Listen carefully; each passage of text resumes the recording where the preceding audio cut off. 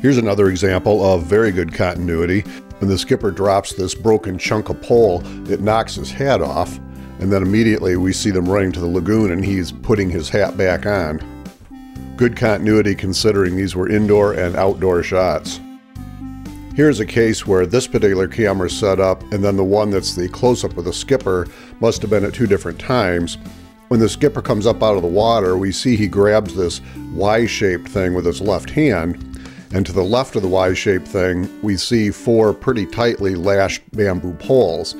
Then, in the close-up showing the skipper, he's still holding on to the Y-shaped object with his left hand, and the four poles are poking into him.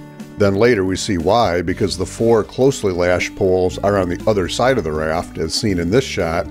So that means they had the raft totally flipped around between the close-up and the longer shot of this initial sequence.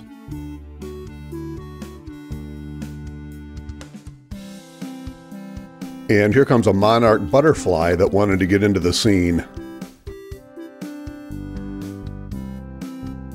We have a little discrepancy here. Large. Last year we had a Hurricane Emma, of course. There was no Hurricane Emma, but there was a Typhoon Emma in 1962. I had a little bit of trouble identifying this camera. The closest thing I could find was this, which is called a Canera 35. I think that's how it's pronounced from about 1925. And I wondered if they found one of those or something similar and then modified it because the lenses look like they're kind of stuck inside a little box there.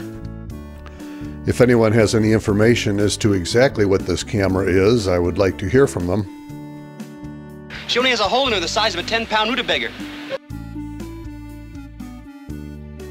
I don't know here if the professor has an itch or what his problem is within his pocket. He acts like something is falling out.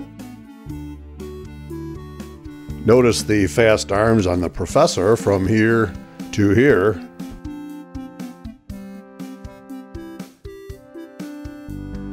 This is a case where they dig out an old prop.